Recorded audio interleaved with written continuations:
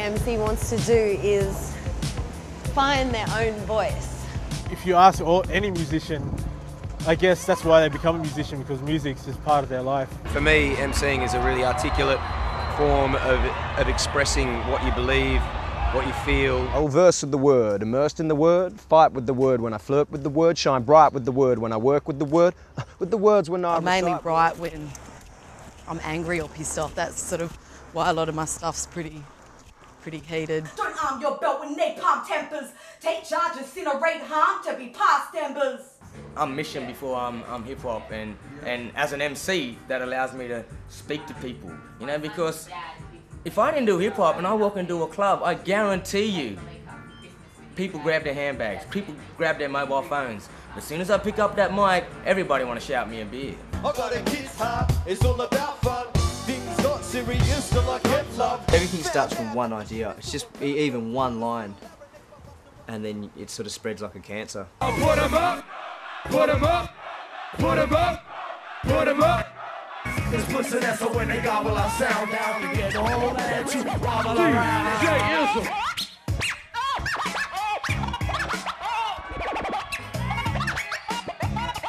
That's the good thing about Australian hip hop at the moment. There's lots of fucking great rappers that can flow and have awesome stage presence, but I still want to hear stories of, of this land. I want to hear stories of people who are talking about stuff that I go through and that I can relate inherently to Australia.